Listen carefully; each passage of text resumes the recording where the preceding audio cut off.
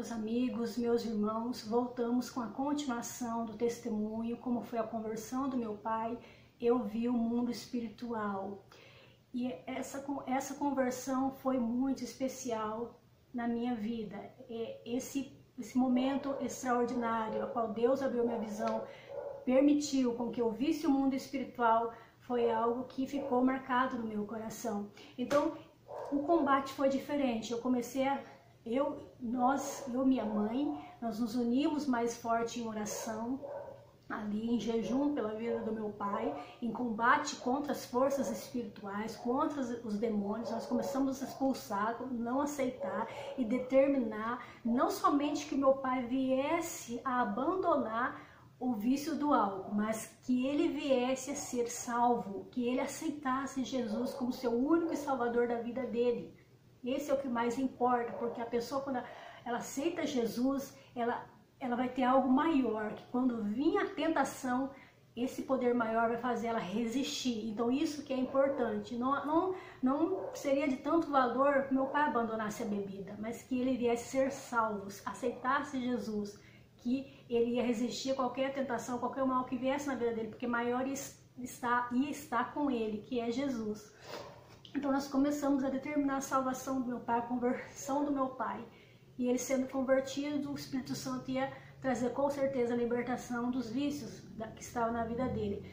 E quando e ele aceitava, ele queria ajuda. E foi que, que foi é, ficando, ficando mais forte ainda a nossa oração, porque ele queria realmente ajuda. E nós ajudando ele, nós tendo paciência com ele, como eu é, compartilhei com vocês no vídeo, vídeo anterior, é, tendo paciência com ele, amando, tem que amar a pessoa, tem que ensinar a verdade para a pessoa e amar a pessoa também. Então ele começou a entender e ele começou e ele continuava, ele continuava bebendo, ele continuava trazendo a bebida lá, lá na horta, mas nós ali em combate, não aceitando. Até que teve, e ele cada vez é, pior mesmo, é, cada vez pior. Parecia que quanto mais nós orávamos, ficava pior. E quando nós, num domingo, nós chegamos da igreja, é, eu entrei primeiro na cozinha, minha mãe chegou e ela é, foi, estava conversando com a minha avó. Minha avó morava do lado da nossa casa, era aquela casa de fazenda de parede meio que eles falam, que é parede com parede. Então ela ficou conversando ali com a minha avó e eu entrei. Eu, eu não entrei dessa vez pela porta da sala, nós entramos pela cozinha. Quando nós chegamos do culto, da, da igreja no domingo. E no que eu cheguei, o meu pai estava na cozinha, na cadeira, ele estava se, é, jogado, se jogado assim na cadeira, é, bêbado, da, naquela situação. E nós, toda contente da igreja, do louvor, aquela palavra maravilhosa, toda feliz, é, convicta da, da, da, da vitória, e chega e se depara com aquela situação e aquilo, mas o meu coração se entristeceu, mas já sumiu esse, esse sentimento e eu criei. Porque eu sabia que Deus tinha mostrado o mundo espiritual, eu lembrei quem que estava por detrás e que maior era Deus que estava conosco. E nós não íamos nos dar por vencido diante daquela situação, não importava se estava piorando cada vez mais. E eu não aceitei aquela situação e minha mãe nem sabia que meu pai estava ali naquela situação, se jogado ali na mesa, sentado na cadeira e debruço ali na, na, na mesa, é, totalmente entregue, totalmente entregue ao vício, é, sem força ali, de tanto que ele tinha bebido. E eu peguei e eu, eu não aceitei aquela situação, eu fui nele, eu fui diante dele e eu pensei, eu vou orar pelo meu pai, eu vou orar pelo meu pai. E eu coloquei as mãos na cabeça dele e eu repreendi aquele mal, eu, é, em voz baixa, bem baixa ali, porque ele tava, parecia que ele estava dormindo. E eu repreendi ali. Eu falei, eu te repreendo, espírito imundo, você está derrotado. O meu pai está liberto em nome de Jesus. Eu te repreendo. Eu não aceito você oprimir meu pai. Eu digo, sai da vida dele para nunca mais voltar. Eu fiz, eu fiz essa oração ali em, em, voz, em voz baixa. E eu fiz essa oração e tirei as mãos da, da cabeça dele e ele ficou ali de bruço. E, e eu virei para ir para sair pela, pela porta da cozinha para ir lá na casa da minha avó, que a minha mãe estava lá. ela não, não, tinha, não tinha entrado em casa ainda, ela não tinha visto o que é, o que estava acontecendo ali.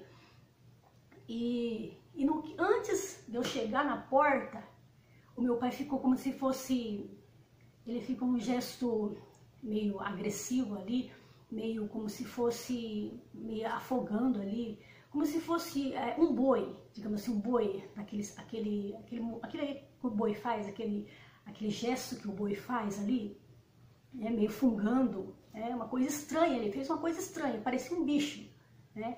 Eu, eu vi que estava algo estranho, só que na mesma hora eu vi, eu vi, eu, eu, eu vi, eu, eu pensei, é demônio, ao demônio, manifestou.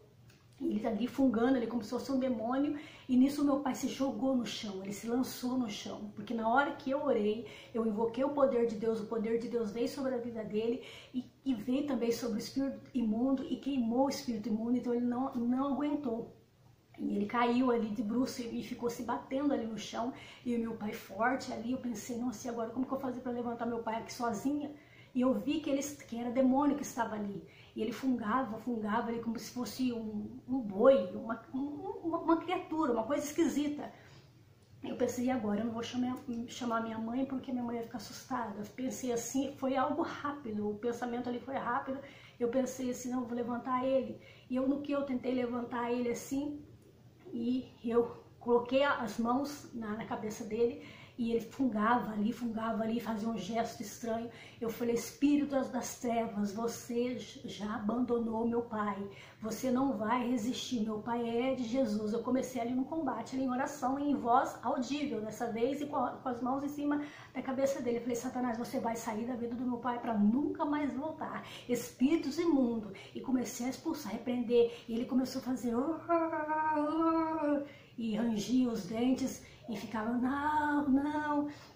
E eu expulsando, falei, você já abandonou meu pai, eu declaro meu pai curado, liberto, salvo, em nome de Jesus, você já é derrotado. E combatendo ali, e no meu pensamento eu pensei, meu Deus, eu estou, é, eu estou primeiro oração que eu faço é com imposição de, de mãos, expulsando o demônio, é, trazendo libertação na vida do meu pai, meu Deus e eu expulsando ali, e nisso, e eu tentava levantar ele assim, mas ele era mais pesado, até que eu falei, e eu lembrei, eu expulsava, expulsava, expulsava, e parece que saía um e vinha outro, porque era um, um uma voz diferente, era diferente. Eu falava, sai espírito imundo em nome de Jesus. E saía aquela, aquele, aquele, aquele gesto diferente, aquele rugido diferente, e vinha um outro. E eu mandava para sair, vinha um outro diferente.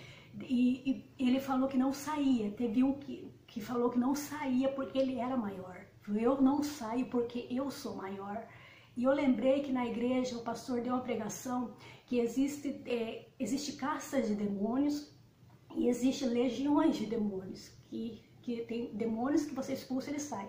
Mas a legião é, é mais de mil demônios. Então você vai passar ali, ó vai passar a semana toda expulsando demônio. Você expulsar um, vem outro, expulsa outro. Então, o pastor tinha ensinado que nós temos que expulsar a legião, ou seja, toda aquela, aquela, aquela, aquela, aquela aglomeração de demônio, aquele conjunto de demônio, que eu não sei a quantidade que. Você vai expulsar todos como se fosse um só. Eu lembrei que o pastor tinha ensinado. E, e, eu expulsava e saía um e, fica, e ficava rugindo diferente, diferente, era outro rugido diferente. Eu vi, eu pensei, tô expulsando um, tá, tá vindo outro, ele tá vindo outro. Era a legião que estava na vida do meu pai. Então, é, é que se cumpre essa palavra de Mateus capítulo 12, versículo 43, que quando o espírito imundo sai, ele anda por lugares áridos, buscando repouso e não encontra. Então diz, voltarei para a minha casa, de onde saí, e voltando acha desocupada, ou seja, não tem ninguém morando lá. Não tem, Jesus não está lá naquela casa. É, o Espírito Santo não mora naquela casa, naquele corpo. Ele está vazio, não tem Deus naquele, naquele corpo. Então o que ele vai fazer? Ele traz sete espíritos piores do que aquele. Então os sete espíritos piores aqui é, são legiões. Ele vai trazendo, vai trazendo, vai trazendo, vai trazendo. E eu lembrei, eu, eu falei, legião, em nome de Jesus eu te digo, saia da vida do meu pai para nunca mais voltar. E no que eu falei isso, eles caiu como se fosse um, um, um, saco de batata, caiu assim no chão. E ele, ele começou a chorar. Ele.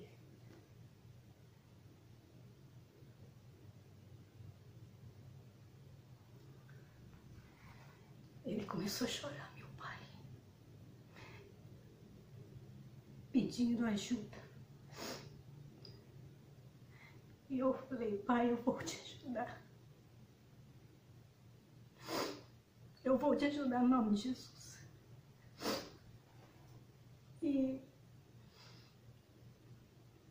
eu vou voltar com a continuação desse testemunho, desse lindo testemunho para edificar sua vida, edificar sua fé. Nós vamos voltar para a glória de Deus. Que Deus abençoe você, que Deus edifique a sua fé. No nome de Jesus.